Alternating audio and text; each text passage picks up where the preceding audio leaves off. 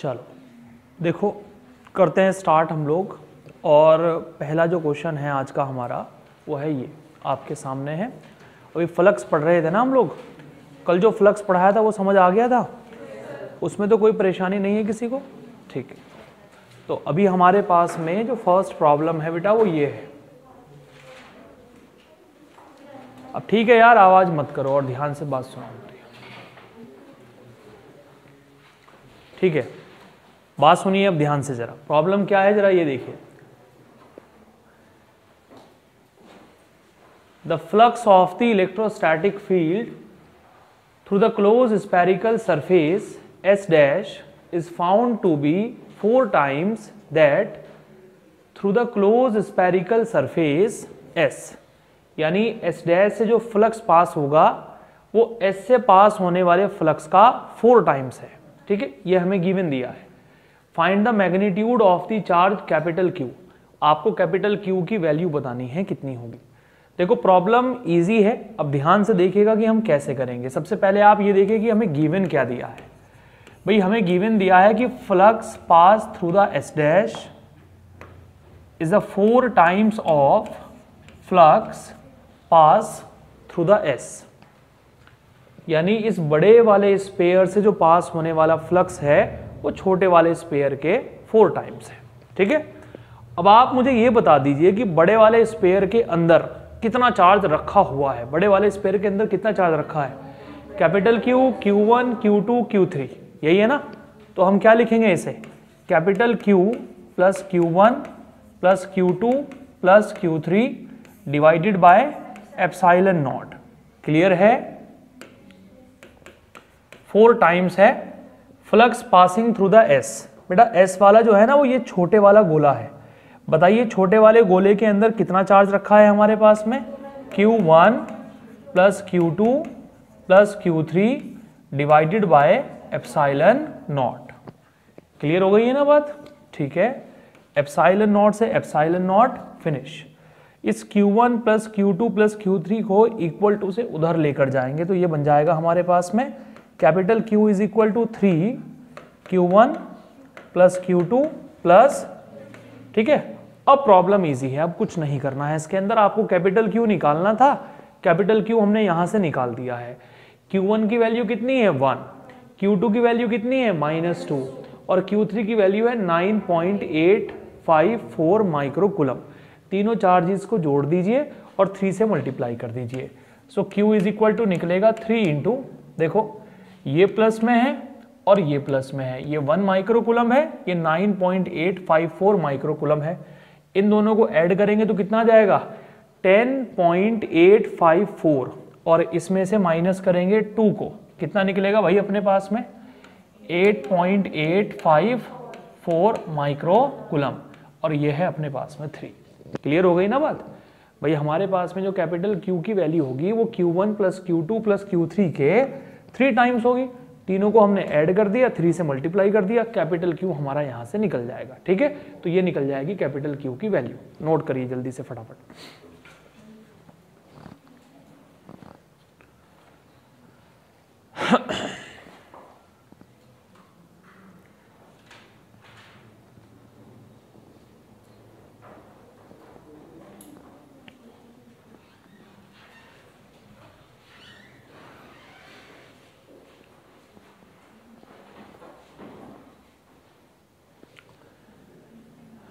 ठीक? समझ आ गया ना सभी लोगों को? बोलो। ये वाला थ्री कैसे आया? तो इस Q1 one plus Q two plus Q three को इक्वल टू से इधर लेकर जाएँगे या नहीं जाएँगे? तो इधर जाकर ये कहें का हो जाएगा? माइनस का हो जाएगा।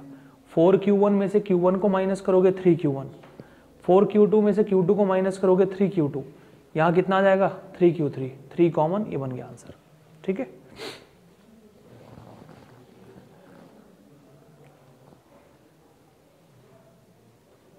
ओके? आ गया समझ में सभी लोगों को? बढ़े आगे? ठीक है। ये सारे क्वेश्चन अपने अपने पास में लिख भी लेना बेटा, सारे क्वेश्चन बहुत इंपॉर्टेंट है ये, ठीक है? क्लियर हो गया है ना? ओके। चलिए देखिए नेक्स्ट नेक्स्ट प्रॉब्लम है बेटा हमारे पास में ये। काफ़ी अच्छा क्वेश्चन है और कई बार बोर्ड एग्ज़ाम में पूछ लिया गया है तो आपको बहुत ध्यान से देखना है कि कैसे हम प्रॉब्लम को सॉल्व करेंगे, ठीक है? देखिए प्रॉब्लम है क्या अपने पास में? आप ये देखिए a charge capital Q is placed at a distance a by two above the centre of a horizontal square surface of edge a ठीक है? इसकी जो एक साइड हमें दे रखी है, वो ए दे रखी है। आपको बताना है कि यहाँ से पास होने वाला फ्लक्स कितना होगा? यहाँ से पास होने वाला फ्लक्स कितना होगा? भाई, पहले तो आप अच्छे तरीके से ये समझ ले कि अगर मुझे यहाँ गॉस की थ्योरम अप्लाई करनी है तो ये चार्ज जो है ना क्यू चार्ज ये चारों तरफ़ से बंद सरफेस के अंदर होना चाहिए। क्योंकि गॉस थ्योरम सिर्फ़ क्लोज सरफेस के लिए ही वैलिड है। हम, हमें कुछ भी करके इस कैपिटल क्यू चार्ज को अंदर लेकर आना पड़ेगा तो हमने क्या किया इसके लिए? जरा ध्यान दीजिएगा। ये बताइए, एक साइड कितनी है? ए दूसरी साइड ये ऊंचाई कितनी है? ए बाय टू आप ए बाई टू और कर दीजिए। ए बाई टू का मतलब आप डबल कर दीजिए। यहाँ पहुँच जाएँगे आप। पहुँच जाएँगे ना आप यहाँ पर? समझ में आ रही बात? ये भी साइड ए ये भी साइड ए और ये ऊंचाई भी अब a length a breadth a height a तो आप एक काम करिए, ये पूरा क्यूब बना दीजिए आप यहाँ पर। ठीक है? ये पूरा हमने क्यूब बना दिया बेटा यहाँ पर।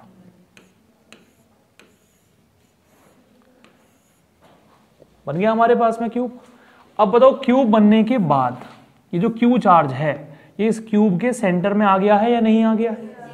तो ये बताइए कि पूरे क्यूब के अंदर कितना चार्ज रखा है। जल्दी से बताइए पूरे क्यूब के अंदर कितना चार्ज है। पूरे क्यूब के अंदर रखा है क्यू चार्ज तो पूरे क्यूब से जो पास होने वाला फ्लक्स होगा, पूरे क्यूब से जो पास होने वाला फ्लक्स होगा, वो इतना होगा क्यू अपॉन एप्साइलन नॉट पूरे क्यूब के अंदर क्यू चार्ज रखा है एप्साइलन नॉट से डिवाइड किया, पूरे क्यूब से इतना फ्लक्स पास हो रहा होगा। लेकिन हमें पूरे क्यूब से पास होने वाला फ्लक्स नहीं बताना है, एक सरफेस से पास होने वाला फ्लक्स बताना है। अब बताइए क्यूब के कितने सरफेस होंगे? एक एक नीचे, एक ऊपर, दो, एक इधर तीन, एक इधर चार, एक आगे पाँच, एक पीछे छह। छह सरफेस होंगे। छह सरफेस से पास होने वाला फ्लक्स इतना है। भाई, पूरे क्यूब का मतलब है कि छह सरफेस से इतनी लाइनें बाहर निकल रही हैं। तो एक सरफेस से कितनी लाइनें बाहर निकलेंगी? एक सरफेस से निकलेंगी, हम छह से डिवाइड कर देंगे। आंसर आ जाएगा Q upon six epsilon naught बताइए समझ आया नहीं ठीक है? तो ये क्वेश्चन ना कई बार आ गया है। एनसीआरटी का ही क्वेश्चन है, आप ध्यान रखिएगा।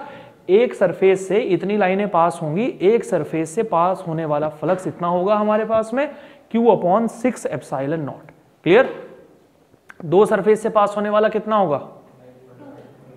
Q upon six epsilon naught plus Q upon six मतलब कई बार ना क्वेश्चन ऐसा आ सकता है, ध्यान रखेगा बिल्कुल ऐसा क्वेश्चन आ सकता है कि एक सरफेस तो आपको नीचे दे दिया, वो बिल्कुल इसी क्वेश्चन के अंदर ऐसा ही एक सरफेस आपको ऊपर बनाकर दे, यहाँ बनाकर दे। और पूछे कि नीचे वाले सरफेस और ऊपर वाले सरफेस से बताओ कलेक्टिवली कितना फ्लक्स पास हो रहा है।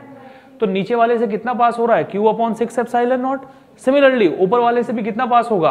Q upon six epsilon naught दोनों को ऐड करोगे टोटल फ्लक्स निकल जाएगा आपका। समझ में आ गई बात? अरे बोलो भाई। ठीक। ठीक है? बढ़े आगे अब?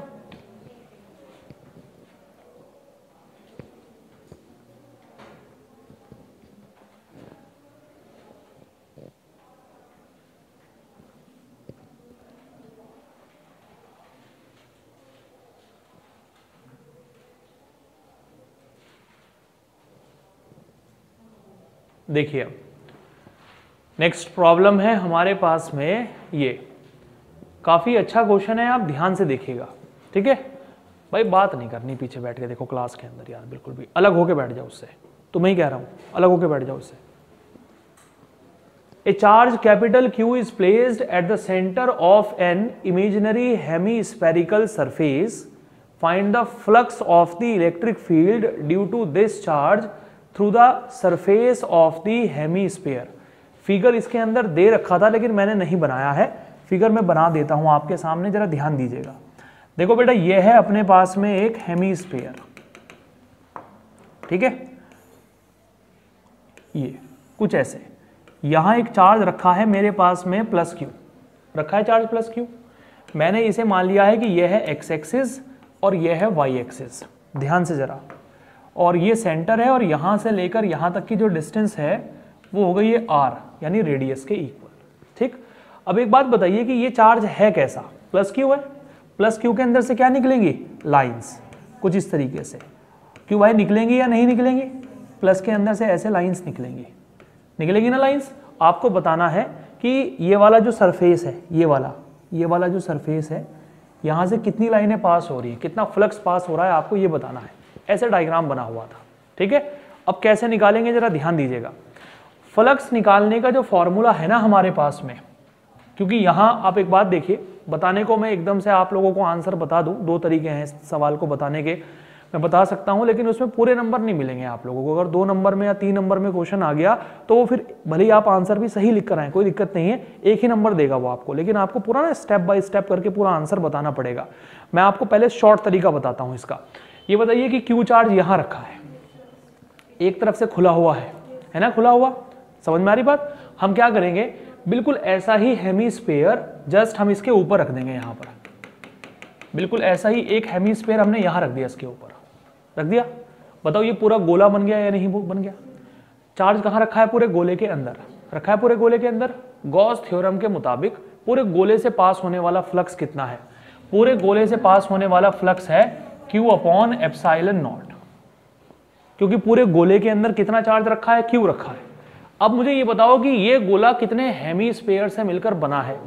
भाई, एक हेमीस्फेयर तो था हमारा। एक हेमीस्फेयर मैंने अपनी तरफ़ से इमेजिन कर लिया। समझ में आ रही बात? दो हेमीस्फेयर से इतना फ्लक्स पास हो रहा है। तो एक हेमीस्फेयर से कितना फ्लक्स पास होगा? एक हेमीस्फेयर से पास होगा, इसे दो से डिवाइड कर देंगे।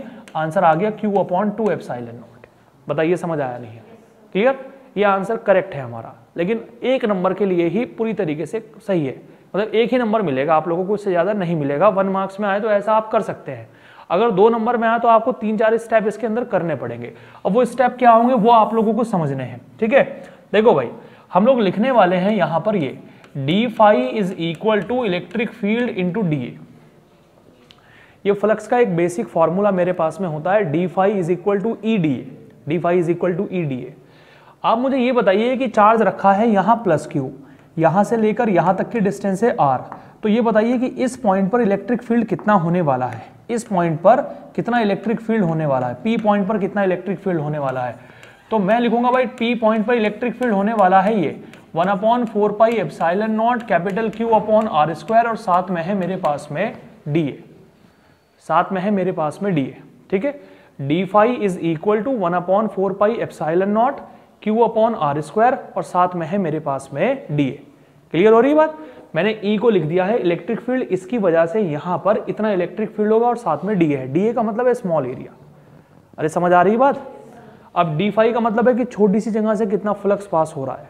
हमें छोटी वैल्यू नहीं बतानी है, हमें बड़ी वैल्यू बतानी है। तो हमने दोनों तरफ़ क्या कर लिया है? हमने इधर भी इंटीग्रेशन लिया और इधर भी इंटीग्रेशन लिया। मुझे ये बताइए, कितने एरिया से फ्लक्स पास हो रहा है? भाई, इतने एरिया से फ्लक्स पास हो रहा है। पूरे गोले का जो एरिया होता है, वो फोर पाई आर स्क्वायर होता है। आधे गोले का एरिया मेरे पास में कितना होने वाला है? आधे गोले का एरिया होने वाला है मेरे पास में ज़ीरो से लेकर टू पाई आर स्क्वायर और यहाँ होगा ज़ीरो से लेकर फाइव डी फाइव का इंटीग्रेशन हो जाएगा phi one upon four pi epsilon naught बाहर है। क्यू अपॉन आर स्क्वायर बाहर है। डी का हम इंटीग्रेशन करेंगे। ये जो डी दिख रहा है ना आपको, इसका इंटीग्रेशन करेंगे, इसका इंटीग्रेशन आ जाएगा ए और उस ए की जगह हम लिख सकते हैं टू पाई आर स्क्वायर क्या लिख सकते हैं? टू पाई आर स्क्वायर तो देखो pi cancel out R square से आर स्क्वायर कैंसिल आउट ये टू से फोर कैंसिल आउट बताओ बेटा कितना आंसर आया मेरे पास में? मेरे पास में बना Q upon two epsilon naught आधे हेमिस्फेयर से इतना फ्लक्स पास हो रहा होगा। बताइए समझ में आया या नहीं आया? क्या तो आप उस तरीके से भी कर सकते हैं? इससे भी कर सकते हैं। लेकिन ये तरीका तब लगाएँ जब दो नंबर में या तीन नंबर में सवाल दे रखा है। अगर एक नंबर में है फिर तो डायरेक्ट आप बना ही दोगे। एक हेमीस्फेयर रखा है एक हमने इसके ऊपर मान लिया दो हेमीस्फेयर का कॉम्बिनेशन हो गया पूरा एक गोला बन गया चार्ज उस गोले के अंदर रखा है तो एक गोले से पास होने वाला फ्लक्स कितना होगा? Q upon two epsilon naught आधे गोले से पास होने वाला Q upon two epsilon naught ये बताओ कि समझ में आया है नहीं आया? Yes. नहीं समझ में आया तो दोबारा से बताएँगे कोई प्रॉब्लम वाली बात नहीं है लेकिन क्लियर होना चाहिए बिल्कुल अच्छे से। आ गया? एक बार और बता देते हैं। देखो ये चार्ज रखा है क्यू और इसकी वजह से यहाँ पर जो इलेक्ट्रिक फ़ील्ड है इस पॉइंट पर जो इलेक्ट्रिक फ़ील्ड है हमने लेट कर लिया ई e, ठीक है? हमने एक छोटा सा एरिया यहाँ कट कर दिया है ऐसे। ये ये छोटा सा एरिया मैंने यहाँ कट कर दिया बेटा और इस छोटे से एरिया को मैंने नाम दिया DA कितना नाम दिया? तो इस छोटे से एरिया से कितना फ्लक्स पास हो रहा होगा? D phi is equal to E D A ठीक है? सिर्फ़ इस छोटे से एरिया से पास होने वाला डी फाइव है। हमें तो पूरे से पास होने वाला बताना है कितना होगा। इस पूरे से पास होने वाला कितना होगा। हमने दोनों तरफ़ का इंटीग्रेशन कर दिया। इलेक्ट्रिक फ़ील्ड की वैल्यू इसकी वजह से यहाँ पर इतनी है। One upon four pi epsilon naught Q upon R square जो भी कांस्टेंट था वो हमने कॉमन ले लिया। डी ए का इंटीग्रेशन हो गया ए ए का मतलब है हेमी स्पेयर का एरिया कितना है हेमी स्पेयर का area two pi R square आधे गोले का area two pi R square होगा ना? रखा कैलकुलेट किया आंसर ठीक है?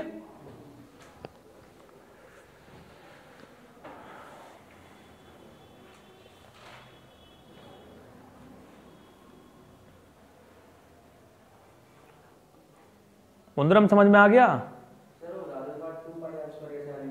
अब मैंने अगर पूछ लिया तो, तो बता दिया तुमने नहीं तो बैठे हो आराम से।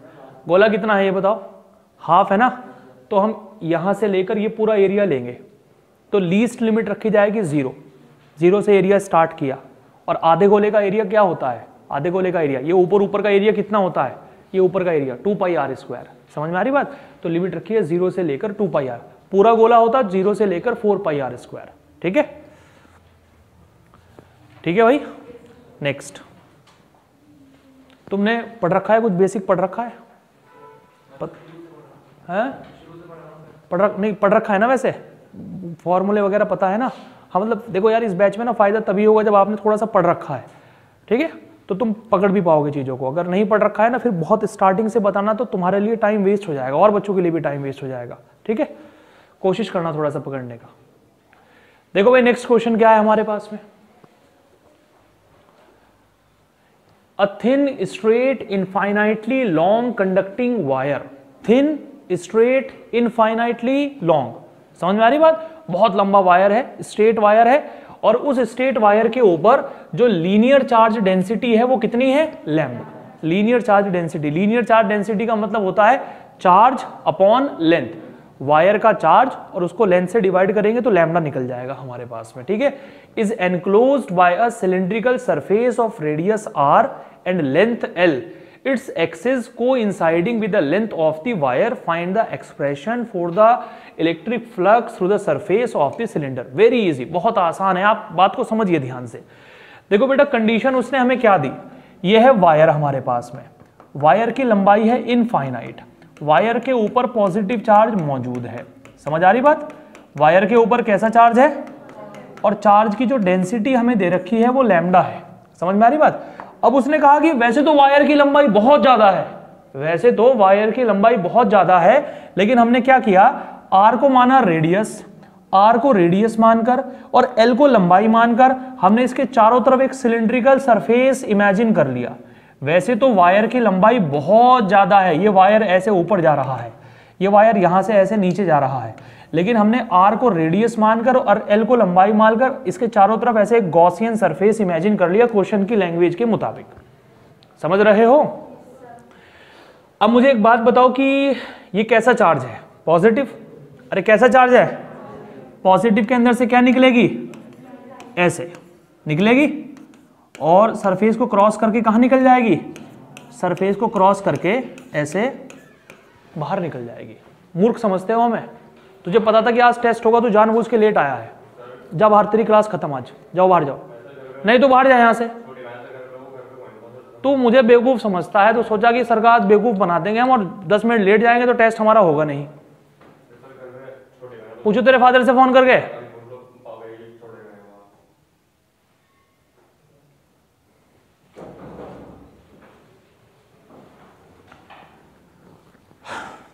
पॉजिटिव चार्ज से क्या निकल रही होगी बेटा? लाइंस।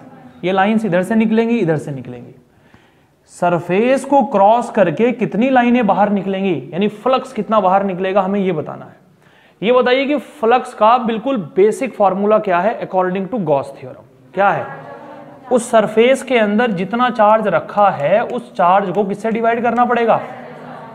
समझ में आ रही बात? ये बताओ, लीनियर चार्ज डेंसिटी कितनी है?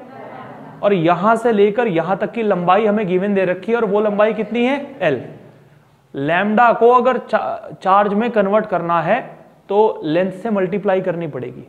समझ में आ रही बात? अगर इतनी रॉड का चार्ज आपको चाहिए ना तो ये जो लैमडा आपको दे रखा है इसकी मल्टीप्लाई यहाँ से लेकर यहाँ तक के वायर की लंबाई से करनी पड़ेगी।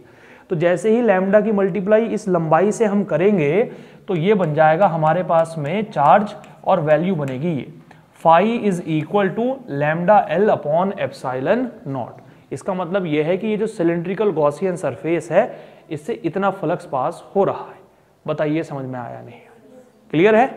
पक्का? कर लीजिए नोट डाउन जल्दी से। हम्म? नहीं लेंथ तो इनफाइनाइट तक है, होने दो। लेकिन तुम्हारा गॉसियन सरफेस कितना है, ये देखो। भाई तुम वही तो चार्ज लोगे जो गॉसियन सरफेस के अंदर आएगा। गॉसियन सरफेस की शेप कैसी है? सिलेंड्रिकल तो बस तुम्हें सिलेंडर के अंदर आने वाले चार्ज चाहिए। बाहर कितना भी चार्ज हो, तुम्हें उससे कोई मतलब नहीं है। कल मैं बता रहा था कि जो चार्ज गॉसियन सरफेस के बाहर होता है, वो चार्ज हम नहीं लेते हैं। ठीक है? तो कितना चार्ज अंदर है? यहाँ से यहाँ तक का अंदर है ना? कैसे निकाला जा सकता है इस चार्ज को? लैमडा की मल्टीप्लाई लेंथ से कर देंगे चार्ज निकल जाएगा हमारा। एप्साइल नॉट से डिवाइड किया फ्लक्स निकल गया। ठीक है?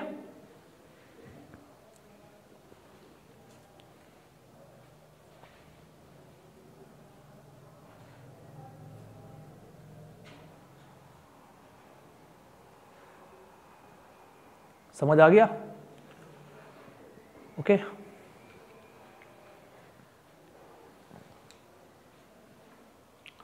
अब यही सवाल अगर दो नंबर में बना तो आप कैसे सॉल्व करोगे इसे? ये तो एक नंबर में था, झट से आपने आंसर बता दिया कि भाई ऐसे ऐसे हम लोग करने वाले हैं, ठीक है? अगर यही सवाल पूरा टू मार्क्स में बना तो कैसे, या टू दो या तीन नंबर में बना तो हम ऐसे सॉल्व करेंगे, फिर स्टेप्स हमें लगाने पड़ेंगे बेटा इसके।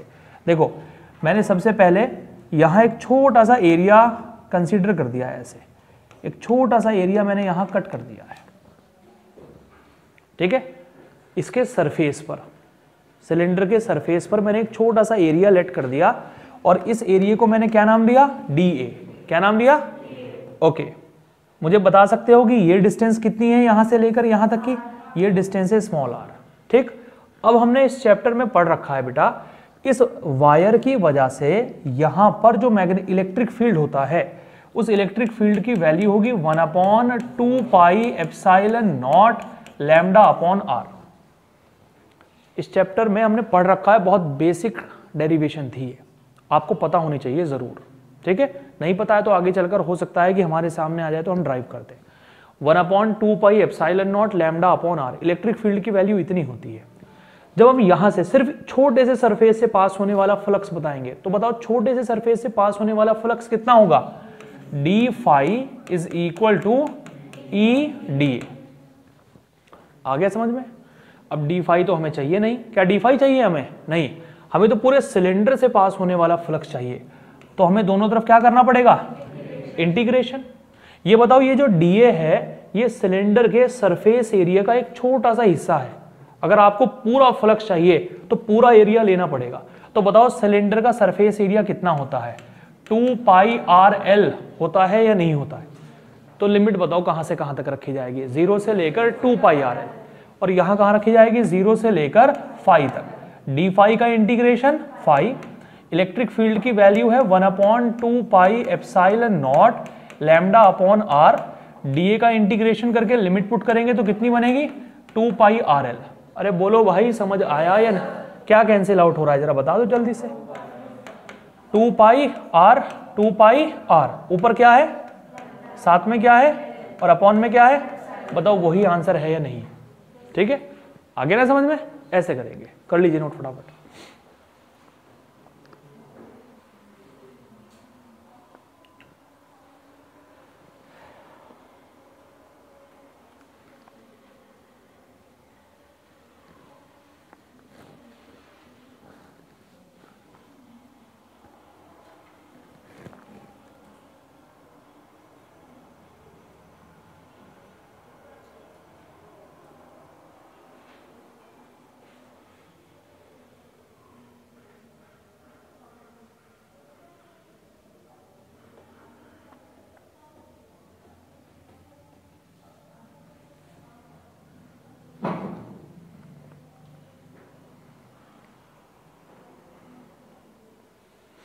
हो गया। देखो, गड़बड़ बिल्कुल नहीं होनी चाहिए। इतने सारे क्वेश्चंस बताने के पीछे सिर्फ़ मकसद इतना है कि आपके कॉन्सेप्ट्स क्लियर हो जाए, ठीक है? इसमें सब एनसीईआरटी के क्वेश्चन है, सब प्रीवियस ईयर के क्वेश्चन है और कुछ एक्स्ट्रा प्रॉब्लम भी है। तो उम्मीद है कि आपका कॉन्सेप्ट क्लियर हो जाएगा इससे। लो बेटा डायग्राम दिख रहा है सभी लोगों को? काफ़ी अच्छा क्वेश्चन है, ध्यान दीजिएगा आप लोग इसके ऊपर। अब देखो प्रॉब्लम क्या है अपने पास में? प्रॉब्लम यह है hemispherical body is placed in a uniform electric field capital E what is the flux linked with the curve surface if the field पहला पार्ट इसका दे रखा है parallel to the base figure one चलो ठीक है, वो तो हमें गिवन है ही। ठीक? पहले आप प्रॉब्लम को समझो ध्यान से कि आप लोगों को क्या बोला है। नंबर वन हमारे पास में ये है। देखो बेटा, जो हमसे फ्लक्स पूछा है ना फ्लक्स वो हमसे यहाँ से पूछा है, यहाँ से। ये जो ग्रीन मैंने मार्क किया है ना सिर्फ़ यहाँ से पास होने वाला फ्लक्स पूछा है। कर्व सरफेस से पास होने वाला फ्लक्स पूछा है। जो ये वाला पार्ट है ना ये ये तो हो गया सर्कुलर। अरे हो गया ना सर्कुलर? और ये कैसा हो गया? आपको सिर्फ़ कर्व सरफेस से पास होने वाला फ्लक्स बताना है। अब फ्लक्स का एक कॉन्सेप्ट है। अगर किसी सरफेस में इक्वल लाइन एंटर करती हैं और इक्वल लाइन बाहर निकल जाती हैं तो टोटल फ्लक्स ज़ीरो के इक्वल होता है। तो बताओ कितनी लाइनें एंटर कर रही हैं? दो। कितनी लाइनें बाहर निकल रही हैं? तो भैया हम कहेंगे कि ये जो ग्रीन सरफेस आपको दिखाई दे रहा है, इससे पास होने वाला टोटल फ्लक्स किसके इक्वल होगा? ज़ीरो के इक्वल होगा। जल्दी से बताइए, समझ आया नहीं आया? क्लियर अब आ जाते हैं बी पार्ट में। ये हमारे पास में बी पार्ट है। ठीक है? देखो, ये बताओ लाइनें एंटर कहाँ से करेंगी? सर्कुलर वाले पार्ट से। अरे कहाँ से एंटर करेंगी? और बाहर से निकलेंगी कहाँ से? कर वाले पार्ट से। अबे गधो सर्कुलर वाले पार्ट से एंटर करेंगी कर वाले पार्ट से बाहर निकलेंगी। दिख रहा है? कोई प्रॉब्लम है किसी को? कॉन्सेप्ट क्या कहता है? कॉन्सेप्ट ये कहता है कि जब इक्वल लाइन एंटर करें इक्वल लाइन बाहर निकल जाए तो टोटल फ्लक्स क्या होता है? टोटल फ्लक्स का फॉर्मूला है inward flux plus outward flux समझ में आ रही बात? तो ये जो सर्कुलर पोर्शन से लाइन एंटर कर रही है तो इसे तो हम नाम देंगे इनवर्ड हम कहेंगे phi circular plus phi curve is equal to बताओ, समझ में आया नहीं ज़ीरो के इक्वल क्यों रखा?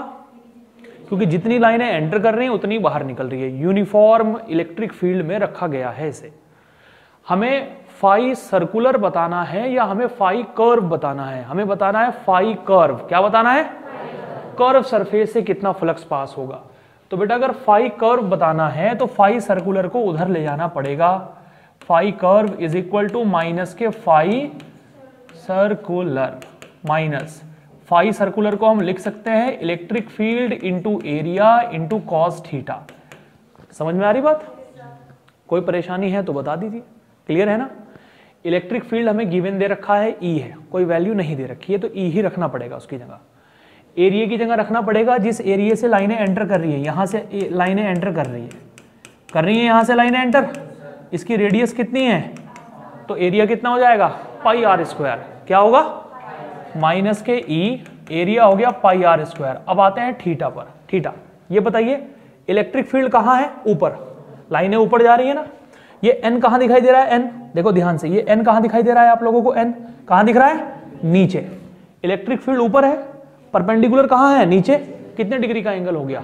180 डिग्री का. कॉस 180 की वैल्यू माइनस वन तो यहाँ रखेंगे माइनस वन तो बताओ कितना आंसर बनेगा हमारे पास में? आंसर बनेगा E into pi R square जल्दी से बताओ, समझ में आने आगे समझ में? दोबारा बताने की आवश्यकता तो नहीं है। पक्का? दोबारा बताएँ? देखो, यहाँ से लाइनें एंटर करेंगी, यहाँ से लाइनें बाहर निकलेंगी। तो ये जो लाइनें यहाँ से एंटर करेंगी, इन्हें हम नाम देंगे फाई सर्कुलर फाई इन या फाई सर्कुलर कुछ भी कह सकते हो। कर्व सरफेस से लाइनें बाहर निकलेंगी तो ये कहलाएगा फाई आउट या फाई कर्व और टोटल फ्लक्स हमारा ज़ीरो के इक्वल है। क्यों ज़ीरो के इक्वल है? इक्वल लाइन एंटर करेंगी इक्वल लाइन बाहर निकलेंगी। हमें फाई कर्व बताना है सर्कुलर को उधर ले गए। फ्लक्स का फॉर्मूला होता है ई ए कॉस थीटा ई की वैल्यू नहीं है तो ई e ही रखा। एरिया को लिख दिया पाई आर स्क्वायर क्योंकि ये वाला फ्लक्स है कर्व जो हमारा सर्कुलर वाला फ्लक्स है, वो ये वाला फ्लक्स है। इसका एरिया हो गया पाई आर स्क्वायर थीटा कितना हुआ? इलेक्ट्रिक फ़ील्ड है ऊपर की तरफ़। साफ़ साफ़ फिगर में दे रखा परपेंडिकुलर कहाँ है? नीचे है। कितने डिग्री का एंगल बनेगा? 180 कॉस 180 की वैल्यू माइनस वन आंसर आ गया। अरे समझे भाई? ओके।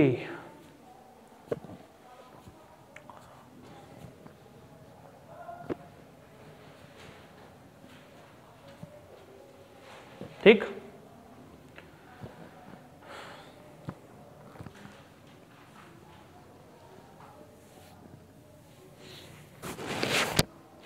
हम्म ये कैसे करोगे? ये वाला पार्ट यहाँ रखा है ना चार्ज कितना चार्ज रखा होगा? लाइनें ऐसे बाहर निकल रही हैं। ठीक है? इलेक्ट्रिक फ़ील्ड कहाँ जा रहा है? बाहर। देखो परपेंडिकुलर भी उसी की डायरेक्शन में है। कितने डिग्री का एंगल बनेगा? कॉस ज़ीरो कितना हो गया? वन कितना हो गया? जिस डायरेक्शन में इलेक्ट्रिक फ़ील्ड है गिवन दे रखा है यार डायग्राम बना के दे रखा है हम लोगों को। परपेंडिकुलर भी उसी डायरेक्शन में जा रहा है। अगर दोनों की डायरेक्शन सेम है तो थीटा हो गया ज़ीरो और कॉस ज़ीरो की वैल्यू क्या हो गई? हमारे पास में वन तो हमारे पास में यहाँ फ्लक्स की वैल्यू बैठेगी flux is equal to electric field into area into cos theta so flux is equal to electric field into area cos theta theta की वैल्यू ज़ीरो इलेक्ट्रिक फ़ील्ड हो गया बेटा हमारे पास में ई e. कितना हो गया? ई ए बताइए समझ में आया, नहीं आया। यहाँ ज़ीरो यहाँ E into pi R square और यहाँ है हमारे पास में ओनली ई ए ठीक है? अच्छा एरिया हमें पता नहीं है, इसलिए हम रख नहीं सकते हैं। तुम्हें पता है एरिया ये वाला एरिया कितना होगा? अगर तुम्हें पता है तो तुम रख सकते हो। अरे ये एरिया पता है क्या भाई? अरे पता होना चाहिए यार, क्यों नहीं पता है ये वाला area? Two pi R square नहीं होगा ये वाला एरिया। हेमिस्फेयर का एरिया कितना होता है? टू पाई आर स्क्वायर होता है या नहीं होता है? तो ये एरिया कितना हो जाएगा? Two pi R square. तो यहाँ क्या रखोगे? E into two pi R square. ठीक है? E into two pi R square.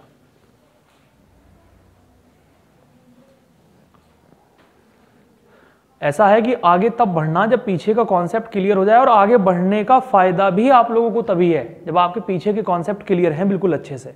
दोबारा बताने की ज़रूरत तो नहीं है। मनोरम समझ आ गया ना?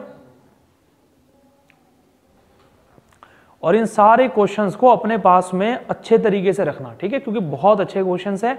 बोर्ड एग्ज़ाम का लेवल इनसे बाहर नहीं जाएगा भाई। एनसीईआरटी तो हम पूरी कर ही रहे हैं प्रीवियस ईयर भी कर रहे हैं एनसीईआरटी और प्रीवियस ईयर तो वैसे भी हर साल क्वेश्चन बाहर नहीं जाता। और इस बार तो वैसे भी आपका थोड़ा सा लेवल डाउन रहने वाला है, ठीक है? तो इनसे बाहर कुछ नहीं जाएगा बिल्कुल, भी इसे आप अच्छे तरीके से करें। पढ़ू आगे? बस ठीक है, आवाज़ मत करो।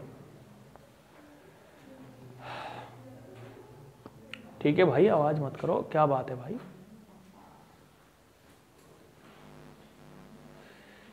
देखो, क्या है प्रॉब्लम के अंदर? When X is greater than of zero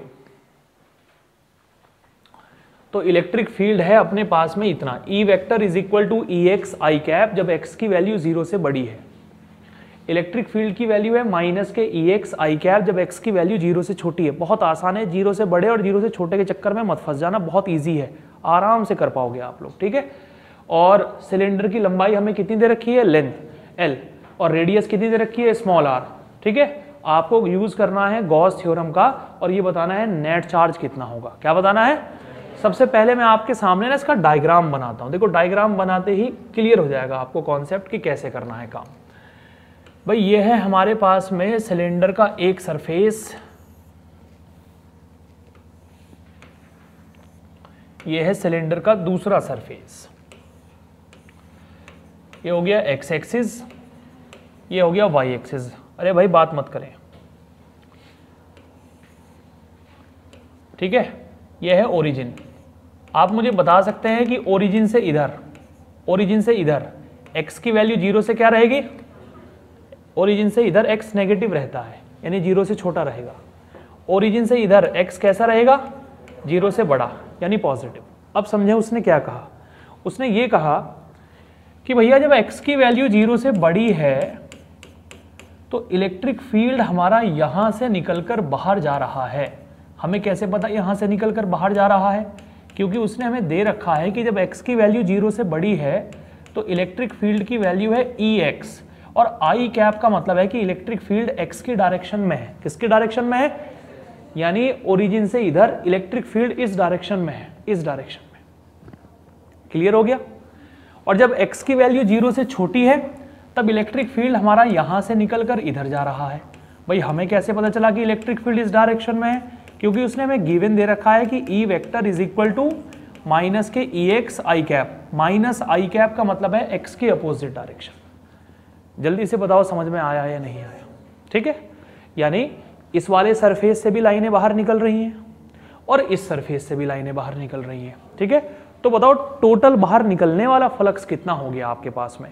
total बाहर निकलने वाला फ्लक्स कितना हो गया? इधर से भी फ्लक्स बाहर निकल रहा है, इधर से भी फ्लक्स बाहर निकल रहा है। टोटल बाहर निकलने वाला फ्लक्स हो गया आपके पास में। बेटा इलेक्ट्रिक फ़ील्ड कितना है यहाँ पर? ई e कितना है?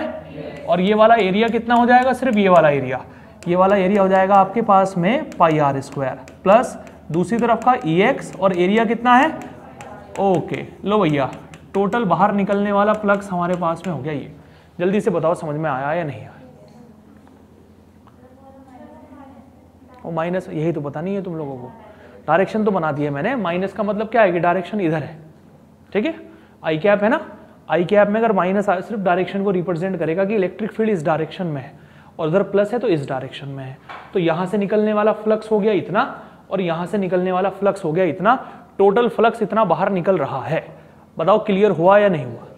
अरे बोलो भाई। अब जो टोटल फ्लक्स बाहर निकलता है, एक तो हमने ये तरीका निकाल दिया। एक हम लगाएँगे गॉस थ्योरम गॉस थ्योरम के मुताबिक जो टोटल फ्लक्स बाहर निकलता है, उसका फॉर्मूला होता है total charge divided by epsilon naught बताओ, होता है या नहीं होता है? तो टोटल फ्लक्स इतना बाहर निकल रहा है एक तरफ़ दोनों तरफ़ से हमारा। हमने मान लिया टोटल चार्ज इतना रखा है। ये भी फ्लक्स का फॉर्मूला है, ये भी फ्लक्स का फॉर्मूला है। दोनों को आपस में इक्वल रखो तो बताओ टोटल चार्ज कितना निकल कर आएगा?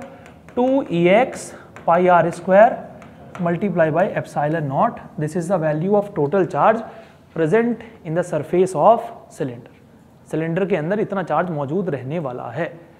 अरे आया समझ में? पक्का? ठीक है। दोनों को ऐड क्यों किया है हम लोगों ने?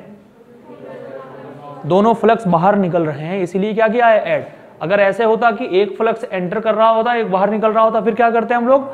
माइनस करते। एक बाहर निकलता, बाहर निकलने वाले को प्लस लेते एंटर करने वाले को माइनस लेते। अगर दोनों फ्लक्स एंटर कर रहे होते दोनों फ्लक्स एंटर कर रहे होते तो एक को भी नेगेटिव लेते और दूसरे को भी नेगेटिव लेते। दोनों बाहर निकल रहे हैं तो दोनों पॉजिटिव एक एंटर करता तो एक नेगेटिव और दूसरा बाहर निकलता तो दूसरा पॉजिटिव नहीं समझे?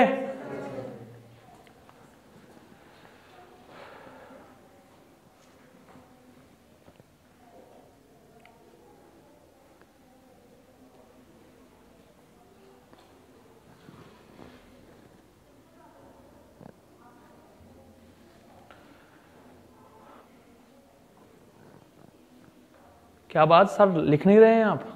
लिख लिया है। ठीक है।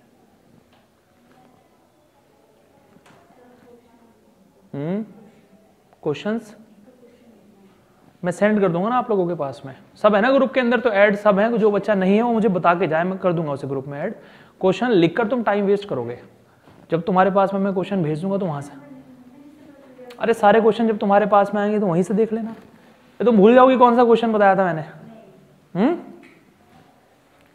सिलेंडर नाम याद रख लेना। जिस क्वेश्चन में सिलेंडर आएगा, वही उसी का आंसर हो जाएगा ये। ठीक है?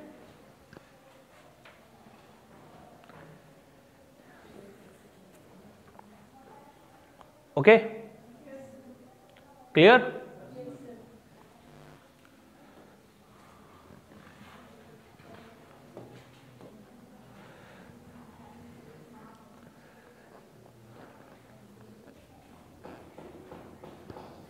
हम्म देखो बेटा, ये इस तरीके की प्रॉब्लम ना हमने कल की क्लास में भी डिस्कस की थी। मैं आपके सामने ना फिगर बना देता हूँ। अब ध्यान से देखिएगा कि कैसे हम प्रॉब्लम को बनाने वाले हैं। फिगर हमारे पास में ना कुछ ऐसे दे रखा है।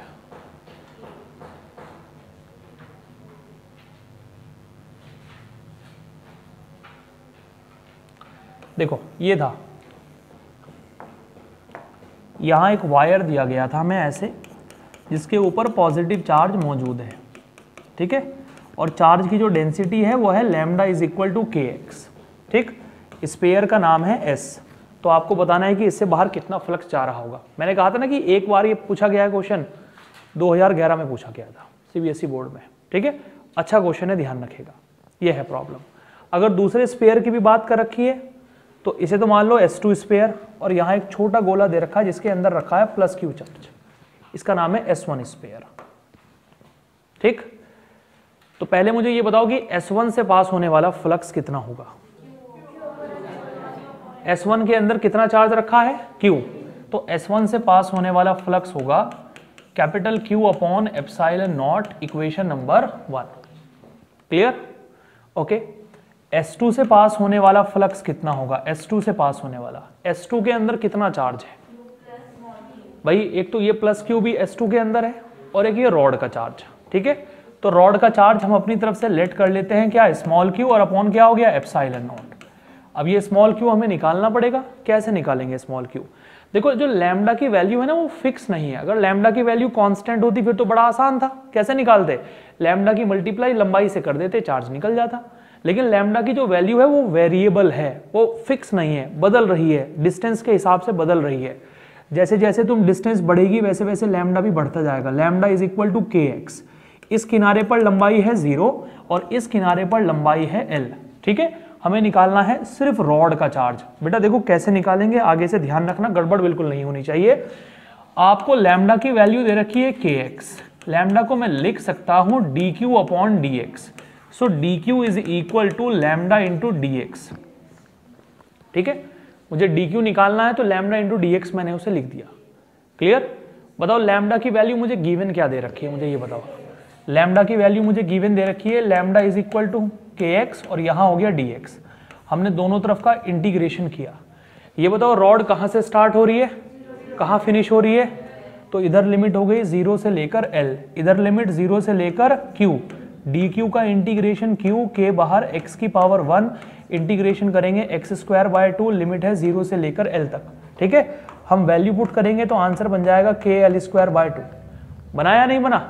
तो बस इस Q की वैल्यू को यहाँ से उठाकर यहाँ पुट करेंगे K L square by two solve करेंगे। बड़े वाले सरफेस से पास होने वाला फ्लक्स निकल जाएगा। समझ आ गई बात? ऐसा मैंने कल भी बताया था आप लोगों को क्वेश्चन सेम क्वेश्चन है, बिल्कुल बस रिपीट होगी आपकी प्रॉब्लम ये।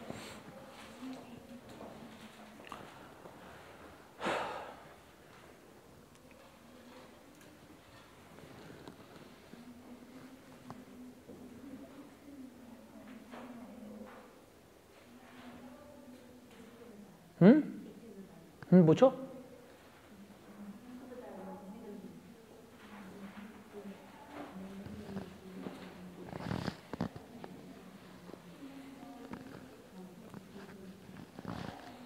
हो गया भाई। हो गया। कोई डाउट है किसी को तो पूछ लीजिए मुझसे। अगर कोई डाउट है तो क्लियर कर लेना उसे अच्छे से, बिल्कुल।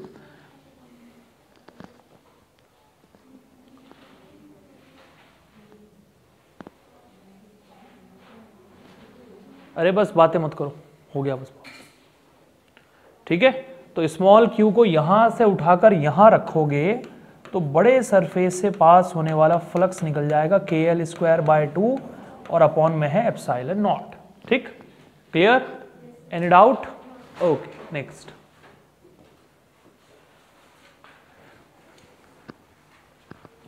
theoretical problem है, एक बार में ही बताऊँगा मैं आप लोगों को। ये भी तब है जब एप्लीकेशंस बता दूँगा मैं आपको वायर के लिए शीट के लिए और स्पेयर के लिए। ग्राफ बनेंगे ग्राफ उस समय बताऊँगा मैं आप लोगों को। ठीक है? बस ये लास्ट क्वेश्चन है। इसके बाद तीन डेरिवेशन है हमारे पास में गॉस थ्योरम और उसके एप्लीकेशन ठीक है? वैसे तो थियोरटिकल है, वो आप लोगों को खुद बनानी है, लेकिन उनके अंदर से कुछ सवाल बनते हैं जो मैं आप लोगों के साथ में डिस्कस करूँगा। ये क्वेश्चन मैंने कल की क्लास में आप लोगों को बताया था इस तरीके की प्रॉब्लम ठीक है? याद है आप लोगों को? ट्राई करिए अपने आप बनाने की और बताइए क्या आंसर बनेगा। क्वेश्चन पूरा आपके सामने है।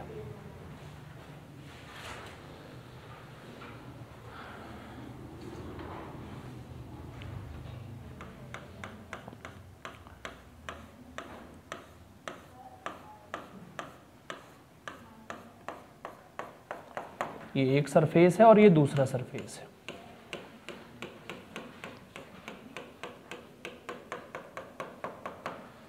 यहाँ से फ्लक्स एंटर करेगा, यहाँ से बाहर निकलेगा। ठीक है? तो यहाँ से जो फ्लक्स एंटर करेगा, उसे आप क्या नाम दोगे? Inward flux. और यहाँ से जो बाहर निकलेगा, उसे आप क्या नाम दोगे?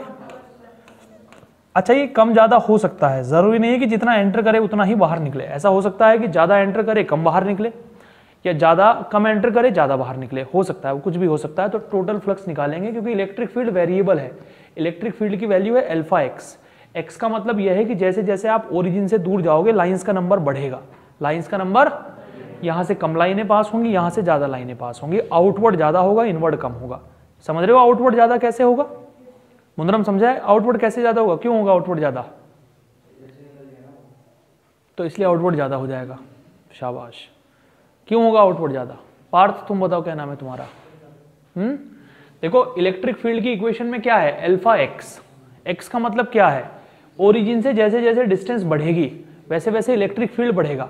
इलेक्ट्रिक फ़ील्ड बढ़ेगा लाइंस का नंबर बढ़ेगा। लाइंस का नंबर बढ़ेगा, अब बताओ ये सरफेस ओरिजिन से ज़्यादा दूर है या ये ज़्यादा दूर है? ये वाला, यहाँ से लाइन ज़्यादा पास होंगी और यहाँ से लाइनें कम पास होंगी। इसीलिए जो लाइन बाहर निकलेंगी, वो ज़्यादा होंगी, जो एंटर करेंगी, वो कम होंगी। आउटवर्ड ज़्यादा होगा इनवर्ड कम होगा। समझ में आ गई बात? अब निकालो इनवर्ड की वैल्यू कितनी होगी इनवर्ड की वैल्यू याद है किसी को? इनवर्ड में हम हमेशा क्या लेते हैं? और साथ में इलेक्ट्रिक फ़ील्ड और into area minus electric field की वैल्यू क्या है? एल्फा एक्स बेटा एरिया कितना होगा यहाँ का? ये ये पूरा एरिया कितना होगा? बताओ कितना होगा ये एरिया हमने इसकी एक साइड को मान लिया है ए क्या क्या माना? तो कितना हो जाएगा एरिया ए स्क्वायर एक्स का मतलब ये है कि यहाँ से लेकर यहाँ तक की डिस्टेंस कितनी है? देखो, ये 0.1 है, ये भी 0.1 है तो ए भी हमारी कितनी होगी? 0.1 क्यों? क्यों होगी 0.1 क्योंकि ये पूरा क्या है? क्यूब जो साइड ये होगी, बिल्कुल वही साइड ये होगी। नहीं समझ में आया? और ये 0.1 को ए मान लिया तो ये भी क्या हो जाएगा? ए एक्स की जगह आप पुट कर देंगे, यहाँ पर ए इनवर्ट फ्लक्स आ जाएगा माइनस के alpha a to the power three clear outward flux बताओ कितना होगा? अनुष्का आउटवर्ड फ्लक्स बताओ बेटा कितना होगा? प्लस होगा? कितना होगा? ई ए ई कितना होगा? Alpha into two a x है ना अल्फ़ा के साथ में एक्स और यहाँ से लेकर यहाँ तक की डिस्टेंस कितनी हो जाएगी? ए ये हो गई ए ये हो गई टू ए हो जाएगी. एक्स की जगह ये वाली डिस्टेंस रखेंगे. और एरिया यहाँ भी कितना होगा? ए स्क्वायर तो ये बनेगा two alpha a to the power three this is inward and this is दोनों को जोड़ो टोटल निकल गया. क्या आएगा जोड़कर मुझे बताओ? Alpha a to the power three alpha की वैल्यू क्या दे रखी है बेटा आप लोगों को? 500 ए की वैल्यू क्या है? 0.1 की होल पावर थ्री सॉल्व करेंगे आंसर निकल जाएगा। आ गया समझ में? नहीं आया? नहीं प्रॉब्लम है तो भाई पूछ लिया करो यार।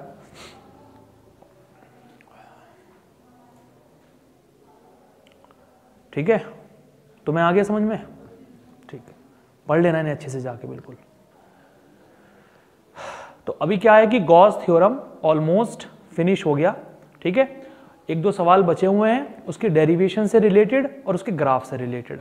कल की आधी क्लास में हम बात करेंगे गॉस थ्योरम की और बाकी की क्लास में हम बात करेंगे पोटेंशियल की। पोटेंशियल स्टार्ट कर देंगे आपका, ठीक है? तीन टॉपिक आपके फिनिश हो गए। कौन कौन से? Charge, force, electric field and Gauss theorem, ठीक है? इसके बाद पोटेंशियल देन कैपेसिटेंस ठीक? पढ़ के आना बिल्कुल अच्छे तरीके से, किसी क्वेश्चन में कोई डाउट लगे तो मुझसे क्लियर कर लेना। सारे क्वेश्चन से, जितने क्वेश्चन मैंने कराए हैं आप लोगों को, सबकी पीडीएफ आपके पास में है, उनसे एक बार थ्रू आउट हो जाना, किसी में कोई प्रॉब्लम तो नहीं है। ठीक है?